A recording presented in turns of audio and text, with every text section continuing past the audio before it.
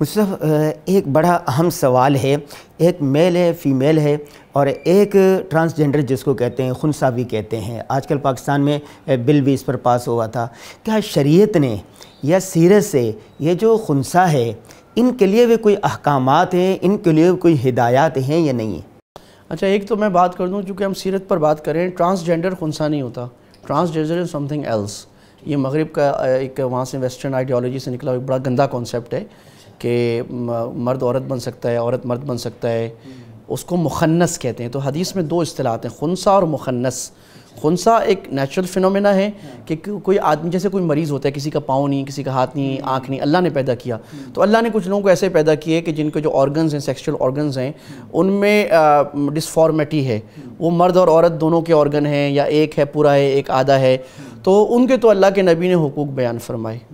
कि एक हदीस में आया है कि एक खुनसा था और फ़जाल सदक़ात में रिवायत है कि वो जो है उसको आप सल, उसको ये बताया गया कि तुम्हारी अल्लाह ने बख्शिश इसलिए कर दी है कि तुम्हें लोग जलील समझा करते थे। तो अल्लाह के नबी ने भाई अल्लाह ने बनाया है। अगर किसी को अल्लाह ने आँखों के बग़ैर बनाया है या समात के बग़ैर बनाया है तो उसको जलील करना जायज़ नहीं।, नहीं है। इसी तरह अगर किसी की डिसफॉर्मिटी है वो बेचारा उसकी वजह से मर्द औरत में मिक्स हो गया है अल्लाह की तरफ़ से खिलकत पैदा ही ऐसा हुआ है तो उसको जलील करने की ज़रूरत नहीं है नाजायज़ है हराम है।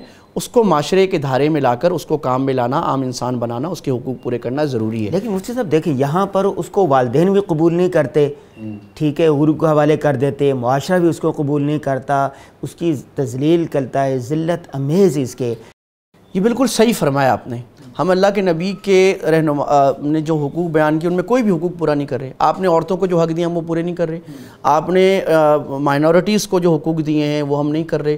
तो ये हमारे माशरे का मसला है, हमारे जो मुसलमान ऊपर से कह रहे हैं। हमारे यहाँ वाकई ऐसा है कि मुसलमानों में और हमारे पाकिस्तानी माशरे में, पाकिस्तानी, हिंदुस्तानी जो हमारा सब कॉन्टीनेंट का माशरा है आ, हम उनको जलील समझते हैं उनको घर से बाहर निकाल देते हैं उनको मजबूर करते हैं कि वो उन ग्रोह में कल्ट में चले जाएँ जो नाचते गाते हैं। वो बेचारा मजबूर होकर वहाँ जाता है नाचने गाने वाला।